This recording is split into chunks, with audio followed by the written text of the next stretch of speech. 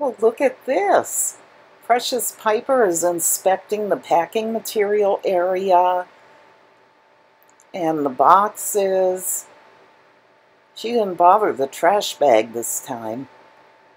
Yeah.